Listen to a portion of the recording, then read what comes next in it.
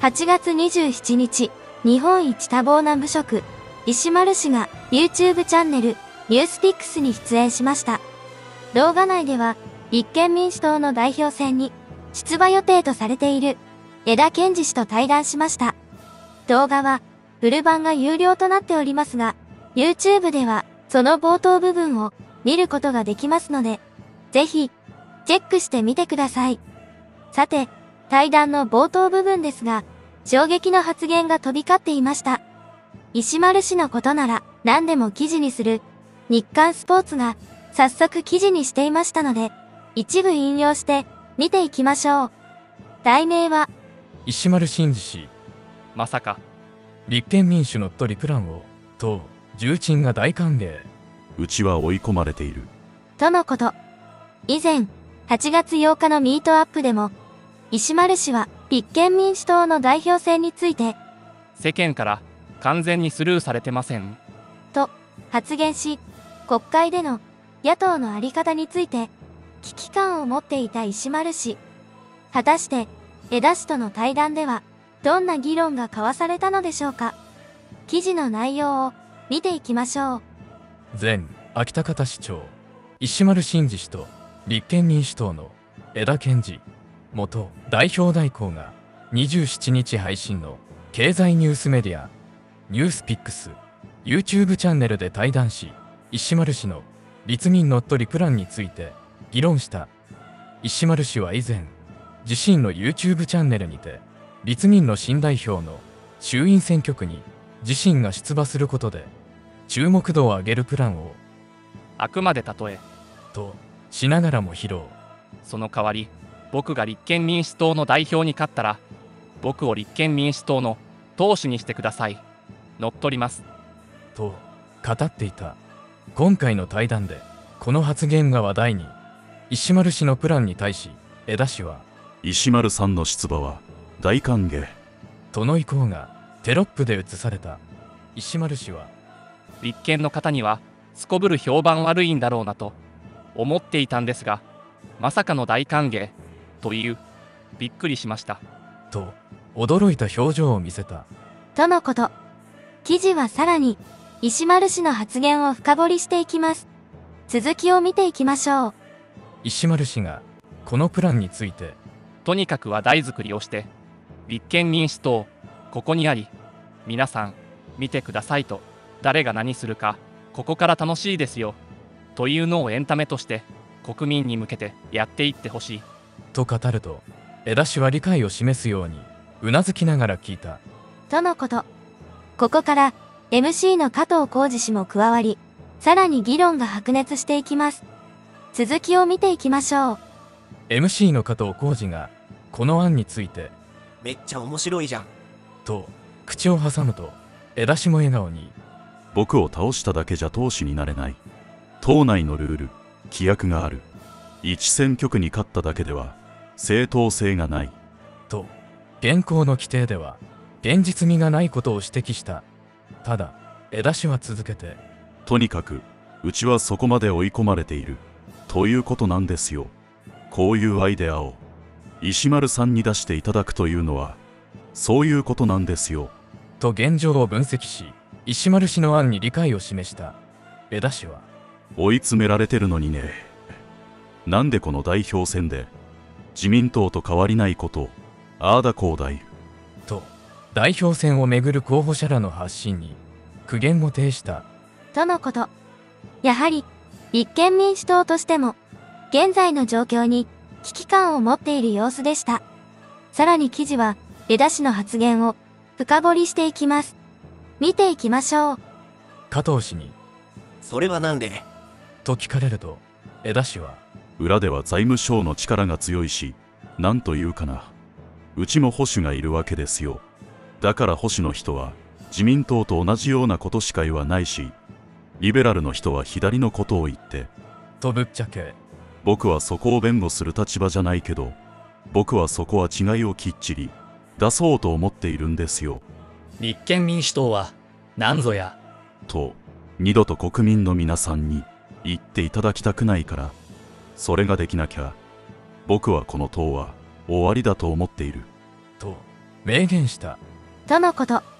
石丸氏と枝氏の対談は、この後、有料のフル版で40分ほど続くようでした。ここまでで記事は終わっていますが、この冒頭部分の動画ですら、コメント欄は、石丸氏や枝氏への称賛で溢れていました。一部紹介していきます。立憲の議員は X で石丸氏批判ばかりしている中枝氏が石丸氏との対談を受けられたことに拍手です考え方も柔軟性があるし、石丸氏をリスペクトしているようで、好感を持ちました。枝さんも立憲の議員とは思えないぐらい好感度高いし、石丸さんも目先のことではなく、これからの日本のことをしっかり考えてらっしゃる。どちらも素晴らしいね。良い悪いできるできない。好き嫌い全部置いといて石丸さんが発言することで正解に注目がいくなんてすごい逸材出てきたと思う。今までこんな政治系の番組なんて興味もなかったのに興味津々で見てる自分がいる。などなど。さて、枝氏が立憲民主党の代表となった場合、次期衆院選で石丸氏との一騎打ちはあり得るのでしょうか？枝氏は直近の選挙 .com で石丸氏の衆議院での可能性などについて言及しているシーンがありました。その部分を見ていきましょう。第3局のまさに中心としてもご活躍されてきた枝さんにですね、はい。まあ、石丸さんのこうちょっと評価をお伺いしたいなと思うんですけども、まず都知事選の開票結果をご覧になってこれどうでしたか？いやびっくりしましたね。びっくりしましたかやっぱり？えーまあ石丸さん165万票、うんちょっとこれはしっかり分析をしなきゃいけないと思いますね。やっぱりまあ蓮舫さんが最後ちょっと伸び悩んだところはね。ちょっと意外でしたね。えーうんこの辺なんかこう分析としてはどうですかね？この、まあ、石丸さんが伸びて蓮舫さんがちょっと最後伸びきらなかった理由ってどうご覧になってます？かいやあのーえまあ YouTube えがですね、はい。どこまであの投票所に足を運ばせるかという、うんうんうんまああの以前からある命題に対して明らかに足を運んでいただけるはいはいはということを証明したという意味ではですね。あの、まあ、率直にあの、ええ。僕は素晴らしいと思ってます。実はえ僕はあの山田太郎さんといええ。う政治家にこの YouTube の件では、はい。SNS の世界では注目してまして、えはいはいはあの今自民党の、ええおまあ、この前ちょっとスキャンダルでミソつけちゃいましたけども、ええ。まあ、議員やってますけどねええ。もともとみんなのと、いそうですよね。それで、ええええ。2016年でしたかね、ええあの新党改革の比例候補として、え参議院選出た時に、えはい。その SNS だけで、うんあの29万票取った。うんうんうん。僕はこれすごいですよね。真っ先に着目したんです。その前の山田太郎さんは、ええまあ、悪いけど一桁の下の方の票しか取れなかったんですね、ですぐ山田さんをですね、え私当時あの民進党の代表代行でええ。あの広報本部長にですね引き合わせたことがあるんです。よ、おおそうなんですか。こういう男がいるから、ちょっとやっぱ広報戦略の中でええ SNS、しかもこれだけ実際比例票取ったね、じゃああの分析をして活かせないかって言ったんだけど、ええ。何の問題意識もなかった。ああ当時そうだったんですか、まあ、誰とは言わないですけど、ね、それで自民党に取られちゃったああそうだったんですでもそこから進んでって、まあ、今本当にここまで票出るぐらいまでなったっていうのは。そうだからそれであのうん。山田さんは自民党の比例で今度2019年にうんうん。50万票超えてるわけですよ、いやすごいですね。2位ですよ自民党のなんかもう自民党の参院選の全国比例といえばやっぱり組織団体業界じゃないですか。それがもう2位にまで。いやだから僕ね、え。あのその辺から僕ええ。YouTube ちょっとあまあただね山田さんの場合はよくやるのはあのアニメや漫はいはい。画やコミケのまあオタクの人たちのを集めたってまあ分析はされてるんですえけどね、今回の石丸さんはそうじゃないので、まあこれは率直に僕はねあの素晴らしい。思いますね。これこのまさにこの手法の部分で今お話しいただいたんですけど、こうまた一面として、まあ、ある意味今回の都知事選で言えばちょっと第三極的なポジション石丸さはいんポジションだったと思うんですけど、枝さんから見てこの第三極というポジションで石丸さん見た時に何ていうんですかねその石丸さんって第三極のなんかこう最終的に要に今後なりうると見てますか？それはあの、ええ。ご本人が首長を目指すのか、ええええ。あの国会議員を目指すのかはいはい。で変わってくると思いますよ。ほこもし国政を目指すんであれば、まあ、一つの可能性としては出てくる。まあ、さ第三極にはなれます。なれる。第三極にはなれるんですけど、まあ、ええええ。私自身あのみんなの党維新の党とやってきてね、ええええあのまあ分かってはいたんだけどやっぱり政治家は実践してみてええ。確信を持つっていうところあるじゃないですか。はいはいはで簡単に言うとみんなの党も維新の党もはい。確かにあの都会とその周辺いうんでうん。比例議員を中心にある程度取れるんうんですよ。うんうんしかしね、うん。まあ少し考えれば分かるんですけうんども、うんうん結局あの衆議院のおいてはあの小選挙区が289あるんはいですよ、はい。465のうち、はい。でじゃあねこういう例えば SNS を駆使して、じゃあ北海道や九州や四国の地方でね、うんしかも小選挙区で、うん。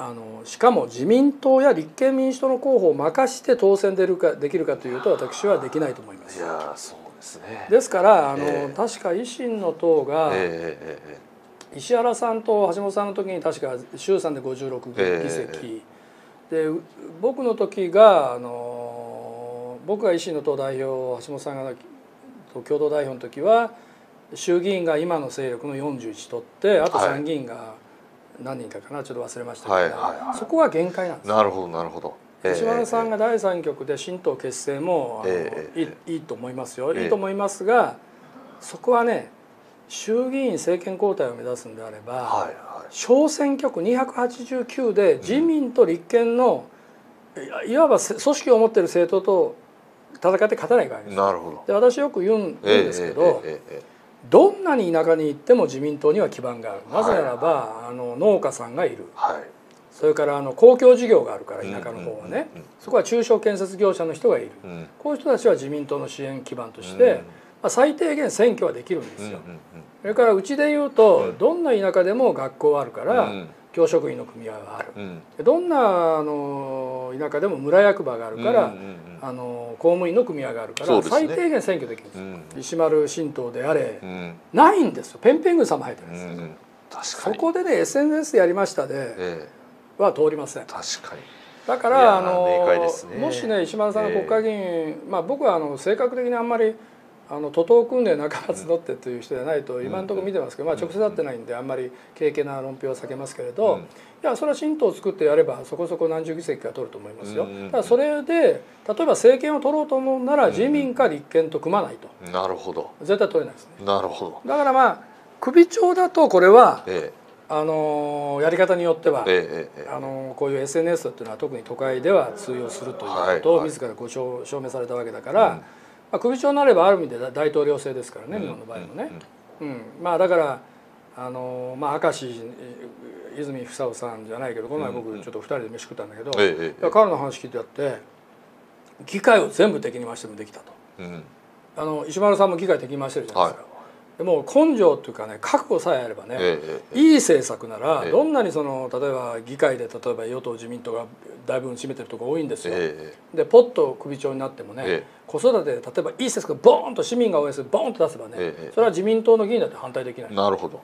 でそれをやってきたんだと泉さん言ってた通り、首長ならね、うんまあ、あの石丸さんの性格だったら、うんうんあの全地方議員を敵に回してもね覚悟さえあればできる可能性がある。うん。いやーめちゃくちゃ説得力があります。やっぱり違いますね。あの確かに確かに九州とかでこの第三局で議席を取れるイメージが全く湧かないですね、うん。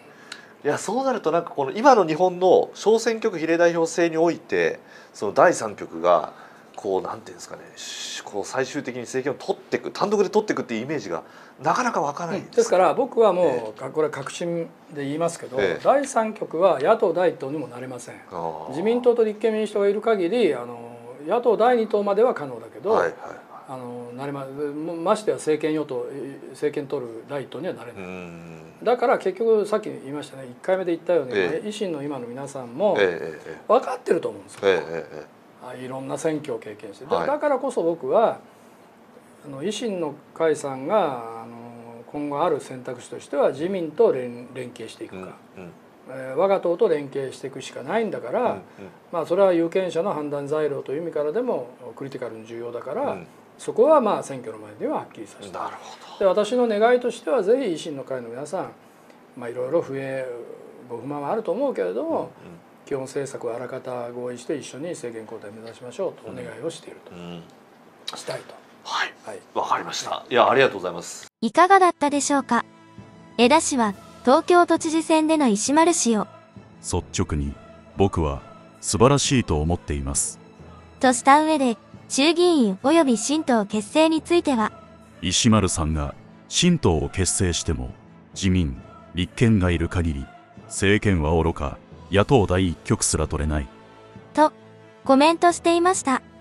何年も国会に身を置き様々な党を結成し渡り歩いてきた枝氏だからこそ見える視点なのかもしれません。さて立憲との一騎打ちを自身で話題にしている石丸氏ですが実際のところ本人は衆議院選にまた新党立ち上げについてどう考えているのでしょうか。こちらも選挙 .com で言及していたシーンがありますので見ていきましょう。さて続いてはこちらになります。いきなりもう選挙の話ですけれども早ければ今年の衆議院議員選挙はどうですかと。出ましたね。なんといってもね開票の言葉ね広島一区っていうワードが出ましたよ。これね広島一区って出たでしょ。自民党のそこそこの人。そこそこの人とだけしか言わないようにしておきますけどもそこそこの人が本当に出るんですかと聞いてきたことがありましたよ。なんか、まあ、あながち冗談じゃないだろうって受け取る気持ちもあるようですけれども、どうなんですかね？もちろん冗談ではないです。可能性がちゃんとあると考えて話をしました。ただ、広島一区というのは分かりやすさで挙げた例でしかないんですね。別に京都の3区、立憲土泉さんのところ、大阪の17区、維新の馬場さんいいですね。でもいいし、まあ今はもうご自身否定されてますけど、蓮舫さんが国政に戻るっていう時にはそこに自分も行くとか。なるほど。っていうのは当然可能性としてはありますね。蓮舫さんね、東京26出るんじゃないかって言われていて、そしたら東京26は蓮舫さんと石丸さんと松原仁さんみたいな、そんな感じで、これもすごい戦いの。とんでもないことになります、とんでもない。ちょっと見に行ってみたい。見に行ってみたいですよね。はい。っていうのは、あの、今日本国民の関心をもっともっと政治に寄せていきたいっていう自分からすると、当然全部がテーブルにある選択肢っていうことなんですね。ただ、どれをやるっていう意思は今のところ全くないので、はい、ただあくまで可能性を示しただけです。ちょっとマニアック的なこと聞いていいですか？なんか、石丸さんは市長だったんで、二元代表制じゃないですか。で、あの、衆議院選挙は議員内閣制になって、こう、例えば議会と、あの、首長が対立するものと、あの、もう、仲間がトップだっていう議員内閣制って、また趣もちょっと違うと思うんですけど、ご自身だとどちらがやりやすいですか？私はやっぱり首長の方が向いてるんじゃないかなと自分では思っています。うーん、なるほど。それはワンオブゼムの、ある意味議員の中だとなかなか自分の存在感とか発信が難しいとか、なんかそういうことですか？まさにそうですね。あくまでも多数決でマジョリティにならないと、まあ、意味がないというのは言い過ぎですけど、はい、自分がやりたいことができない。で、その時に自分たちがやりたいことなんですね。ってなったら、自分の身をそこにわざわざ置こうっていうふうにはあんまり思わないですね。まあ、やっぱり首長とその地方議員とかっていう関係性で言ってもやっぱり1対他なので、うんやっぱり首長の発信力は確かに強いですよね。うんその辺は国会議員一人一人とやっぱり議してみても同じような構造ありそうですよね。これ可能性をもっと深掘ってみるという点においてだと、まあ、広島一区ってなるとやっぱり勝つってなるとやっぱり資金もすごく必要だと思いますし、まあ、新党を立ち上げるっていうような選択肢なんかもあるのかなよく聞きますね。もう毎日出てんじゃないですか、そういう質問。なんで皆さんそんなに新党立ち上げさせたいんですかね。え、それは面白いからです。やっぱりそうですかそうですですよね。ワクワクする感じですよね。は選挙詳しい方はねそうですね。もう私はもう石丸新党の得票を予測するっていうので動画一本撮りたい気持ち。そのあたりは率直にどうですか？今のその現象が楽しくてしょうがないです。こうわわなってると本人が全く動いてないんですよ。本当に動いてない腰すら浮かせてないのに、勝手に盛り上がってる最高じゃないですか。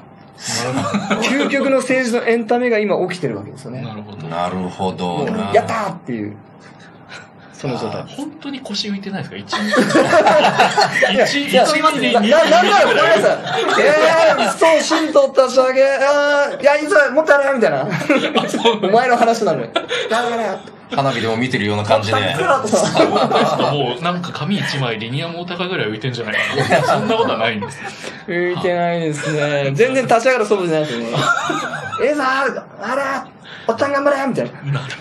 なんかこれもね、僕から言うと、石破さんが国レベルでやりたいことをするならば、こうやれる、こう、それが一番最適じゃないかと思うのと、もう一つ現実的に規制政党への秋みたいなやつがね、今こう、一般にはびこっている中で、で、石破さんが立ち上げるって言ったら多分候補者もいっぱいこう、わーっと集まってきて、各選挙区にまあ、資金面はちょっと別ですけど、立てるっていうことぐらいはできるのかなっていう客観的な風には思うんですけどもね、どうですかね？あそうだと思います。あの、可否で言えば可だと思いますね。できる、できないで言えばできる。で、できる状態なので、その現実味を感じて、皆さんがこう期待をされたり、いろいろこう言われてるわけですね。それが自分にとっては最高に嬉しいう。うん、なるほど。これだけ政治に興味関心が向かうってなかなかなかったと思うんですね。で、新党の立ち上げなんて、まあそうそう起きない話ですので、で、今のところその意思はないんですけども、これから既存の政党がどう動くかによって、また意思は決定していきたいと思います。なる要はほど。、全部オワコン、オワコンになってるっていうのが私の評価で、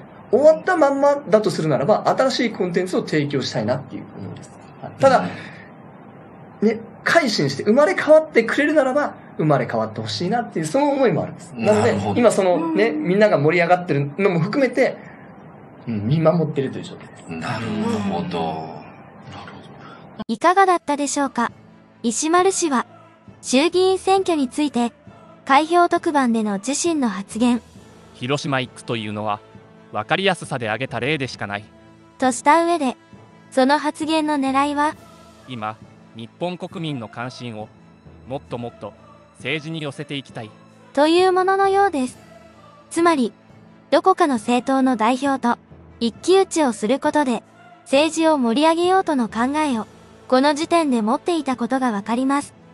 そして、新党結成については、なんで皆さんそんなに新党立ち上げさせたいんですかね。ワクワクする感じですか？とした上で、今のその現象が楽しくてしょうがないです。究極の政治のエンタメが今起きているわけですよね。と、満足げな様子でした。可能性については、できるできないで言えばできるが今のところその意思はない。今後既存の政党がどう動くかによって意思は決定していきたいとのことでした。